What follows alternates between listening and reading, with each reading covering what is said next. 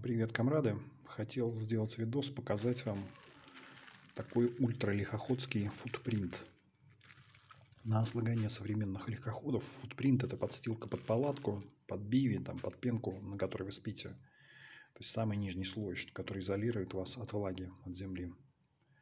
Купила такую пленку, она называется поликро или поликрио, не знаю как правильно. Вот ее используют, наклеивают на окна, на стекло как дополнительное такое, как дополнительную теплоизоляцию.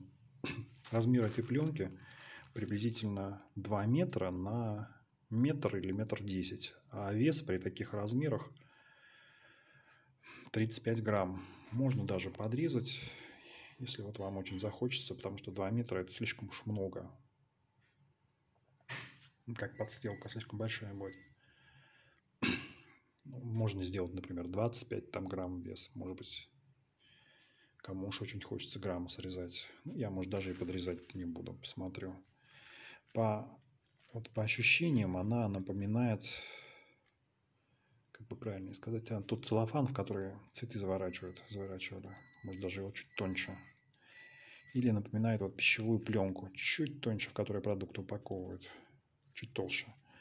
Но заметно ее прочнее. То есть вот как подстилку такую, по крайней мере, на такой ультралегкий поход, когда вам нужно экономить каждый грамм, вполне можно. Будет заметно тоньше и прочнее, чем полиэтилен.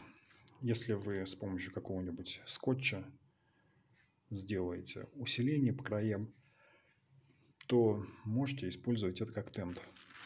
Я два куска купил и другой кусок, может быть, сделаю себе тент. Поскольку вот в тайге я обычно хожу, там такого ветра нет, он в лесной чащобе гасится. Сделаю по краям такую окантовку каким-нибудь скотчем легким и будет у меня такой ультралегкоходский тент весом в 50 грамм.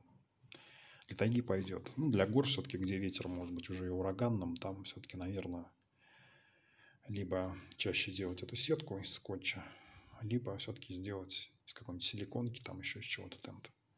Ну, подумаю, посмотрю. Так что для легкоходов, которые экономят каждый грамм, вполне может подойти. Стоит она не таких больших денег, можно купить, кто уж очень хочет. Все, комрады, пока. Есть еще кое-какие идеи, еще кое-что расскажу. Заходите еще.